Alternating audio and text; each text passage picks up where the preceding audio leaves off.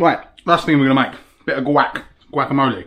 Now, this is one of the things I do not understand why anyone buys because the stuff you buy is always, always not good. Always, always crap. Make it yourself, it's always, always nice. And it is really simple. Find yourself an avocado that is ripe or more, depending on how many people you're feeding.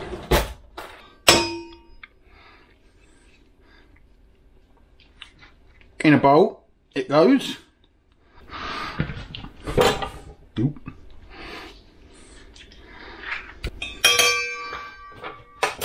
Right, now all we need is the pinch of salt, be conservative to begin with, and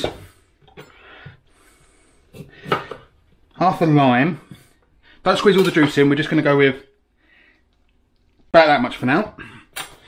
And then just smush it up to the consistency of guacamole that you like. I like mine quite pasty, quite well mashed.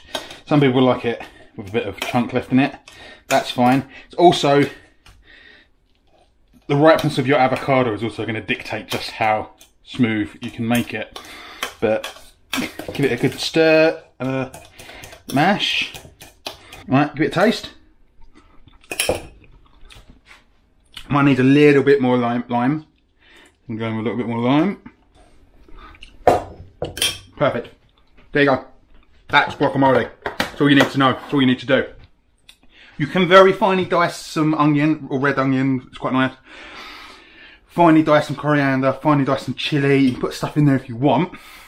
But that is all you need to do to make guacamole. And it is a million times better than the stuff you're going to get in a jar and probably cheaper.